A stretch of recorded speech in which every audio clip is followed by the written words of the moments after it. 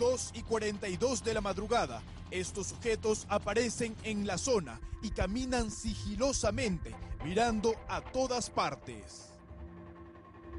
Su objetivo, esta botica ubicada en la avenida Tupac Amaru, a la cual minutos después lograron ingresar.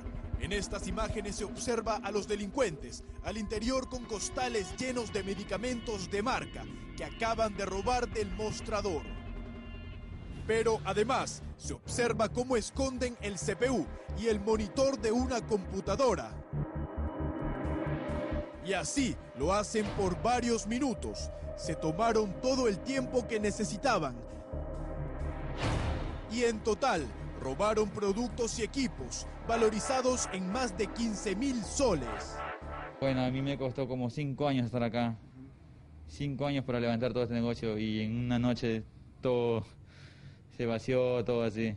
Que estaba mi CPU, mi monitor y acá estaba mi impresora. Aquí está mi impresora. Se lo llevaron. Como vemos acá también los medicamentos.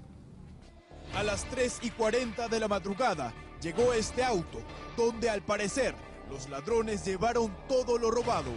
El toque de queda no es impedimento para que estos sujetos continúen delinquiendo. En este caso ellos tuvieron que forzar este portón de ingreso y una vez al interior del local nuevamente quebrar otra puerta de seguridad para así poder llevarse aproximadamente 15 mil soles.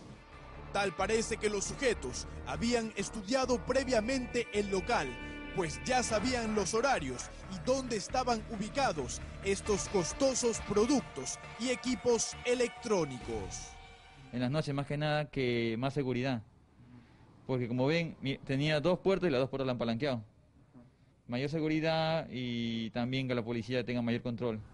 Pero este robo no sería un caso aislado. Los vecinos denunciaron que los asaltos son incluso a plena luz del día y según ellos serían personas de la zona. Y son del barrio mismo, son del barrio.